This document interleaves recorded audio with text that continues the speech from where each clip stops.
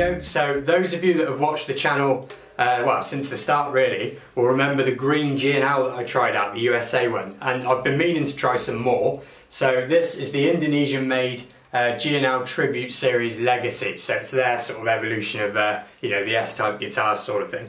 So we'll go over what you get, first of all, because um, these guitars at Andertons and Guitar Guitar at the moment, new, are all on sale, so they, they offer uh, an interesting sort of consideration at least. So body-wise, it's a pretty lightweight uh, poplar body. I'm not sure how many pieces, but you know, poplar body, nice and light.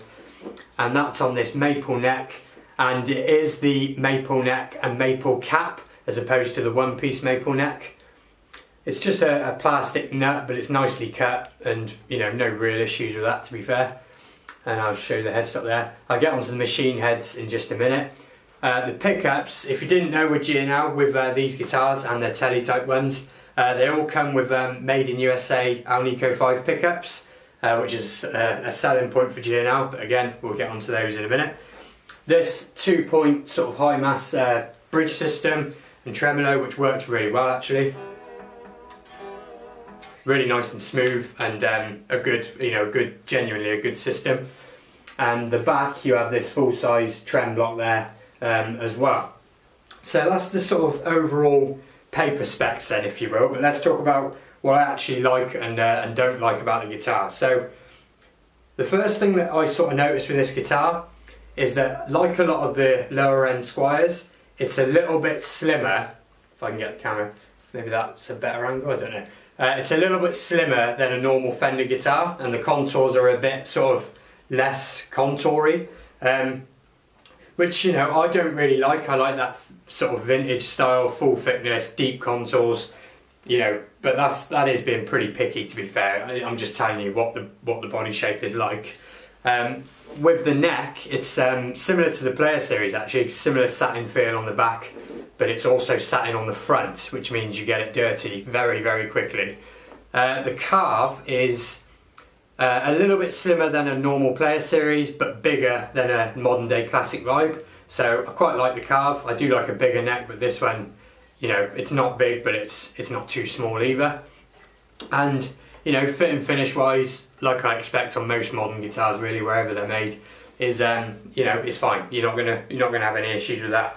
So couple of things to talk about then. Another thing with G&L with these, instead of having your normal volume and two tones, you get a volume, um, treble and bass control.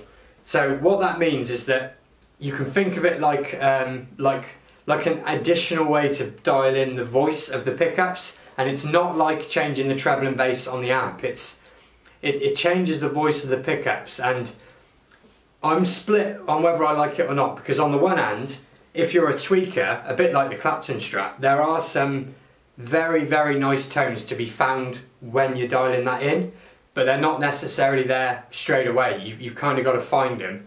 Um, but at the same time, it is cool to have that much sort of options on your pickups because usually with Strats, you've either got a great set of pickups and it just works or it just doesn't work. So this kind of gets around that, but again, I can see why some people wouldn't like it.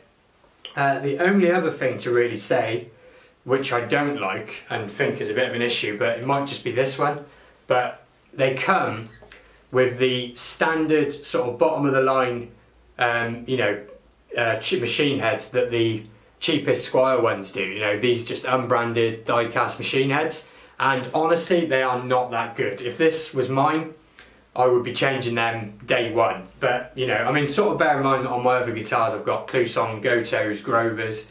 I'm a bit of a machine head freak because I just appreciate good machine heads and these are not great machine heads. I, I will be changing them straight away. I mean, even at this price point, the other guitars probably do have nicer, better quality machine heads, but you know, don't have USA pickups or unique sort of systems or whatever. But it's just a bit of a criticism, and if it's the same on all of them, you definitely want to know about it.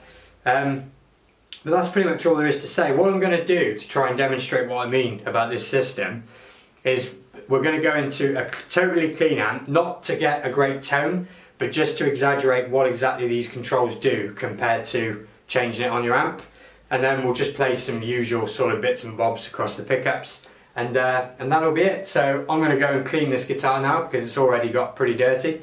And uh, thanks for watching, and I'll see you on the next video. So what I wanted to do first of all is just show you the treble and bass and the way it sort of voices the pickups as opposed to when you just change the treble and bass on the amp. So we'll play with the bass one first on the neck pickup. I've got the bass set sort of halfway on the guitar and this is what it's like on the amp.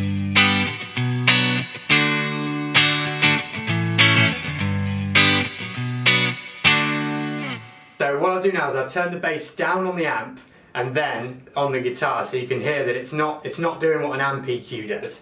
So we'll go down on the bass of the amp. So this is what it now sounds like.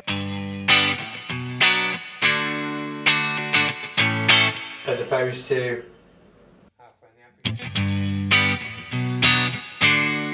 So now if I take the bass out of the neck pickup on the guitar, you'll hear it's not quite like doing it on the amp.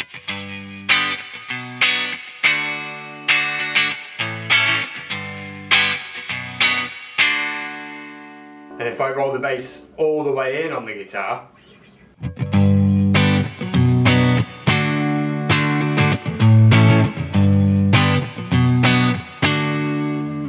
obviously that would work a lot better with a, you know an overdriven sort of tone. But you can hear just what that's doing. And now we'll do the same on the bridge pickup, but messing around with the treble one instead. So treble's all the way up on the guitar. On the amp it's just under half, and this is sort of what we got.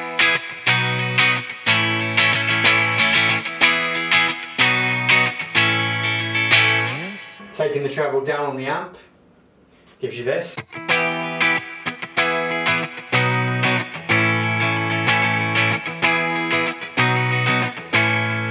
So we'll put it back where it was and take it off the guitar itself.